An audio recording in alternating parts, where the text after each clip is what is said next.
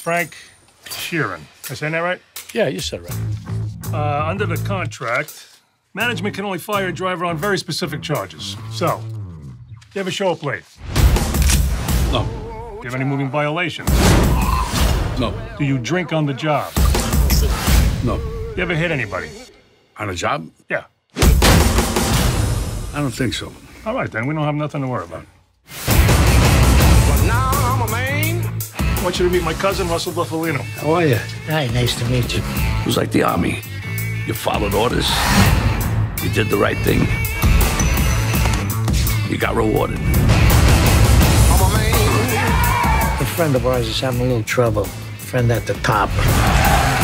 Back then, there was nobody in this country who didn't know who Jimmy Hoffa was. Get the gun out of his hand! You always charge a guy with a gun. With a knife, you run away. So you charge with a gun, with a knife, you run. I'm a. Hiya, Frank. Would you like to be a part of history? Yes, I would. Big business and the government are working together, trying to pull us apart. Something's got to be done. What else you say? Now's not the time to not say. I'm a natural lover. We're going to war with these people. I'm a man. War.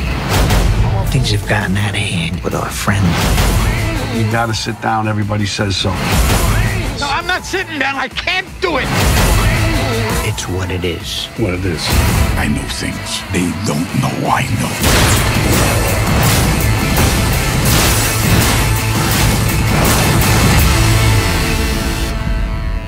It's gonna happen.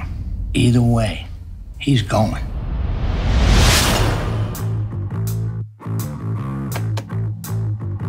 You know, I don't, uh, I don't care whether you did it or not.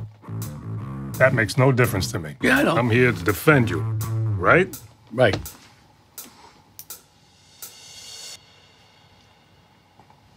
What do you want to know? You want to know if I did it or not?